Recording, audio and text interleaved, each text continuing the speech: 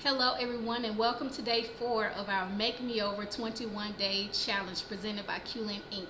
I am Deaquilin Williams, CEO of Quelynn Inc. and founder and life coach of Quelynn International Institute for Women. And today is all about attitude. Neck popping, eyes rolling, attitude that people choose to have. Now in the previous video I talked about how our emotions are choice driven and they are. And so is our attitude. The difference between emotions and attitude is this.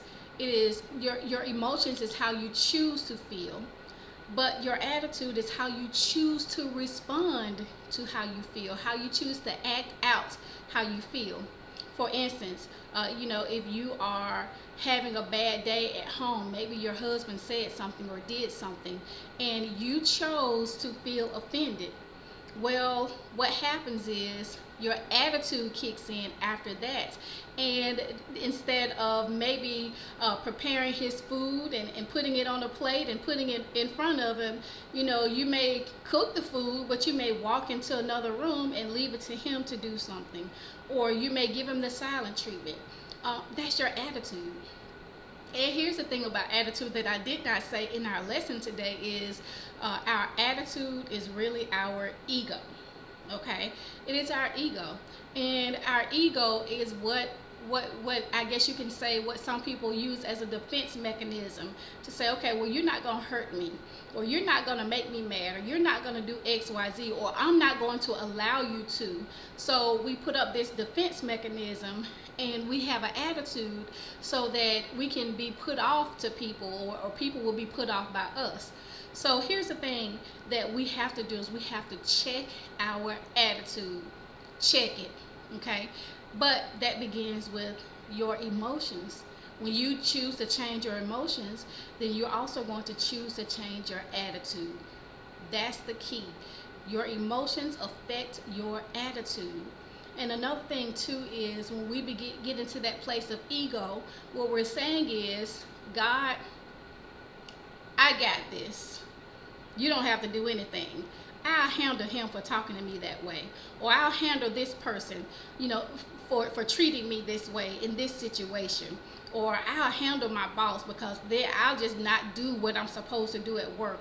Or whatever. You see I'm rolling my neck while I'm talking? That's usually what happens when we begin to have a negative attitude. But here's the thing you can have a positive, loving attitude where people will respond to you in a positive and loving way.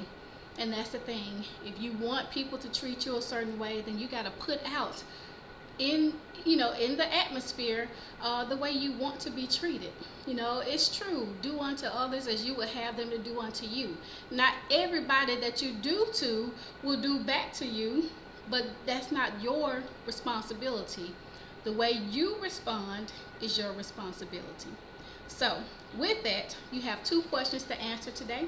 And the first question is, what is my general response to the circumstances in my life? What is my general response?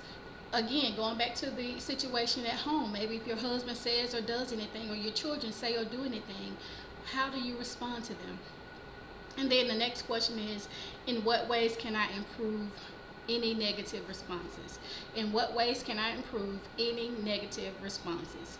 So here's our affirmation for today. Today I realize that my response is my responsibility. Therefore, I choose to respond in a positive manner. I will not allow anything or anyone to hinder me from displaying a positive attitude no matter the situation. Well, make sure that you get your attitude in check. Check it. As always, you are great in Christ and you are powerful beyond measure. Be blessed.